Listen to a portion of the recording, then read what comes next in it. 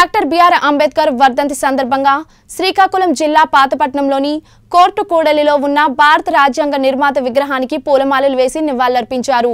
రాష్ట్రంలో ఓటీఎస్ రూపంలో పేదల దగ్గర పదివేలు వసూలు చేయడాన్ని వ్యతిరేకిస్తూ అంబేద్కర్ విగ్రహానికి వినతి పత్రంను మాజీ శాసనసభ్యులు కలమట వెంకటరమణమూర్తి అందజేశారు.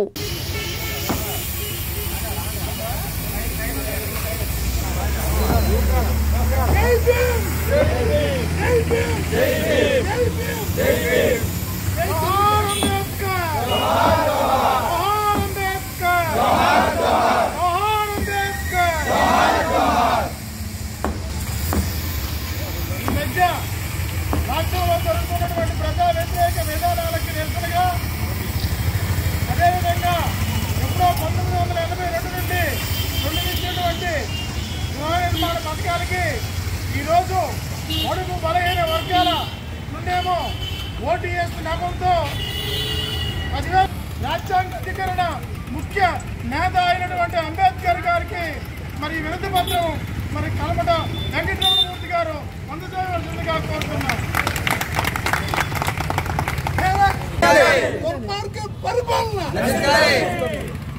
అందరికీ నమస్కారం.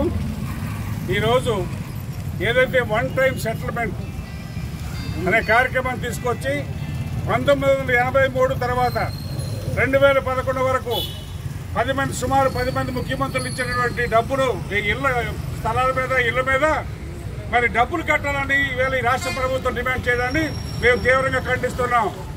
ఏదైతే పేద బడుగు బలహీన వర్గాలు ఎస్సీ ఎస్టీలకి ఆ రోజు మరి ముఖ్యమంత్రిగా రాధా ఇంటగారు గారి చంద్రబాబు నాయుడు గారి గారి నుంచి ఈ రోజు వరకు మన రెండు వేల పదకొండు వరకు రెండు వేల పంతొమ్మిది వరకు చంద్రబాబు నాయుడు జరిగింది.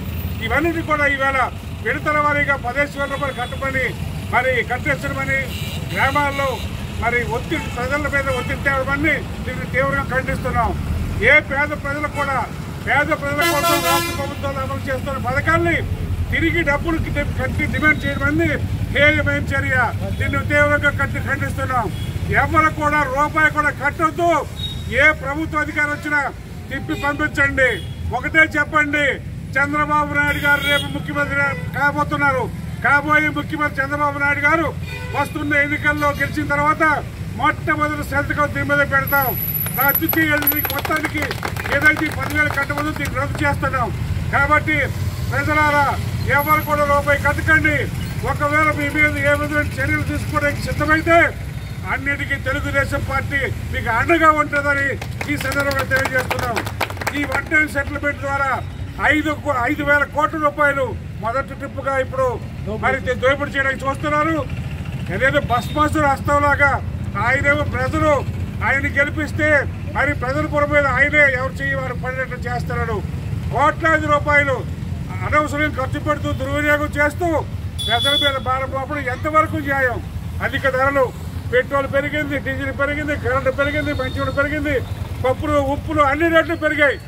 సమస్త రేట్లు పెరిగి వస్తున్న ట్యాక్స్ చాలా ఇంకా కానీ మళ్ళీ ఇప్పుడు ఏదైతే ఈ వన్ టైం సెటిల్మెంట్ ద్వారా పేద బడుగు బలహీన వర్గాలు ఎస్సీ ఎస్టీలకి ప్రభుత్వం ఉచితంగా ఇచ్చిన ఇల్లుని ఇవాళేమో మరి డబ్బులు కట్టమని డిమాండ్ చేస్తున్నారు ఇదే కాకుండా సొంత పట్ట సొంత ఇంట్లో ఇంట్లో స్థలంలో పట్ట కట్టుకుంటే ఆయన పట్ట ఇంట్లో కట్టుకుంటే సరిపడి ఇవాళ డబ్బులు కట్టమంటున్నారు. అంటే ఇవి నిన్నే ఒకటి చెప్పాడు.